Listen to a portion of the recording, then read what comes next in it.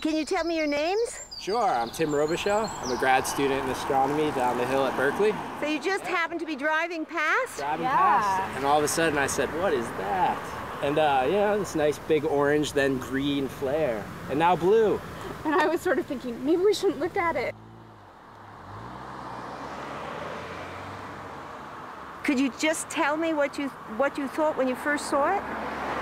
You know, to see something that reminds you of the sunset, but to know like it can't be right, like that that it can't be happening, is you know it, it just kind of creates this like strange uneasiness inside of you or something, and also like you know, but something maybe you think something magical is about to happen.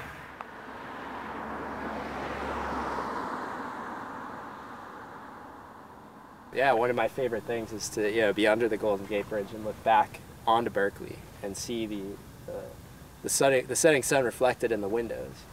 Yeah, it looks like a million little fires, and that's exactly what I thought when we came around the bend here. And then uh, yeah, it's obviously too early for that to happen uh, in any sense, even if there were just a mirror over there, you know, uh, and it was just too orange for that to happen.